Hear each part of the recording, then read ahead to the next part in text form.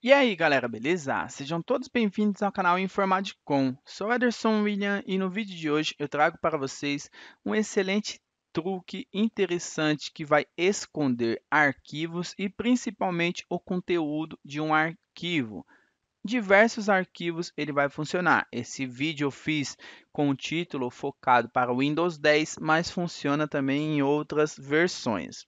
Acontece que, quando o Windows vai fazer a leitura de um arquivo, pode ser uma imagem, pode ser um arquivo PDF, um arquivo do Word, um arquivo de texto do WordPad, não importa. Ele faz uma leitura desse arquivo, ele vai abrir o arquivo utilizando os softwares que ele tem para abertura desse arquivo e para isso ele vai fazer uma amarração, por assim dizer, do software que abre com a extensão que esse arquivo foi criado. O truque consiste em mudar a extensão do arquivo. Não se prenda aos detalhes do que está no conteúdo. Por exemplo, vou abrir aqui contatos. Eu poderia ter criado uma página de contatos mesmo, mas é só contato 1, 2, 3, 4, 5 para vocês entenderem que eu clico em cima de contatos, eu abro o arquivo. Clico em cima de imagem 001, eu abro também esse arquivo aqui. A questão é, dessa forma que o Windows trabalha por padrão, ele abre os arquivos normalmente. Ele abre os arquivos normalmente, seja ele uma imagem, um vídeo, não importa.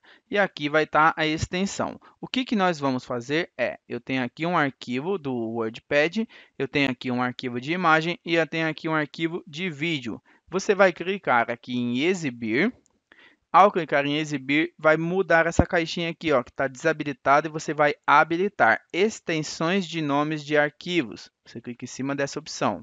Quando você ativa essa opção, ao lado do, do que você está mexendo, ele vai criar aqui e trazer para você a extensão.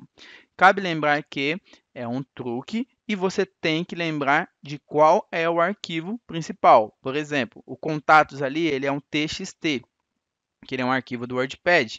Para deixar ele oculto da forma que eu falei, não é que o arquivo vai sumir, mas nós vamos impossibilitar de que a pessoa consiga abrir esse arquivo e ver os dados.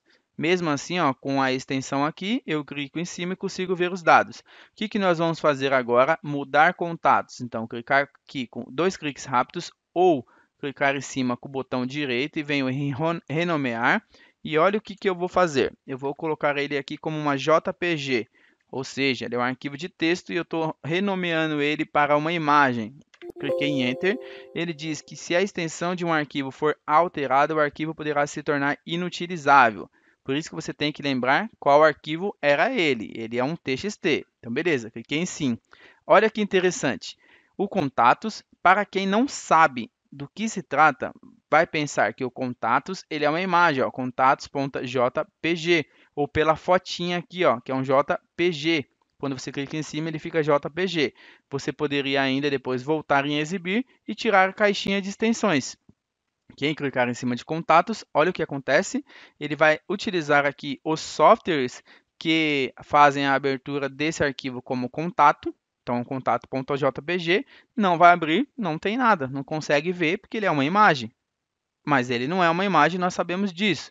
Então, o que, que você vai fazer? Exibir de novo, vem em extensões, volta aqui, botão direito em cima dele, renomear, tá JPG, tiro TXT, clique em Enter. Ele diz que se eu renomear aqui for alterado, ele pode ser inutilizável, clique em Sim, e olha o que acontece nesse momento, o arquivo está aqui sendo aberto normalmente.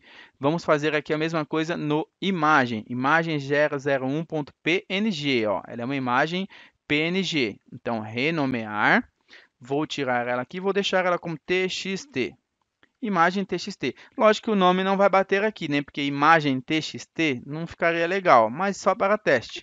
Clica aqui em Sim já mudou aqui a fotinha para um, um WordPad. vou clicar em cima dessa imagem.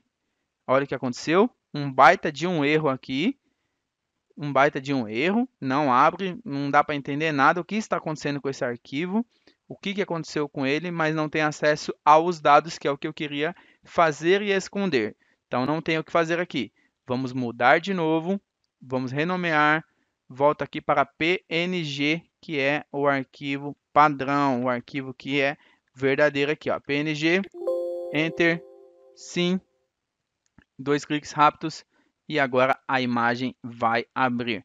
Mesma coisa eu poderia fazer com esse vídeo que é MP4, mudar para MP3, para JPG, para PNG, para TXT, PPT, não importa. Ia mudar aqui a extensão, o arquivo não ia abrir mais. Voltei para MP4, ele voltaria a abrir. Então esse é um truque básico, interessante, mas que se você quiser esconder alguma coisa aí, você vai conseguir de uma forma bem rápida, bem fácil e bem simples. Basta que você saiba qual é realmente o arquivo verdadeiro, a extensão dele, para que você também não se confunda e deixe de abrir um arquivo importante. Então faça isso aí e vai dar super certo, beleza?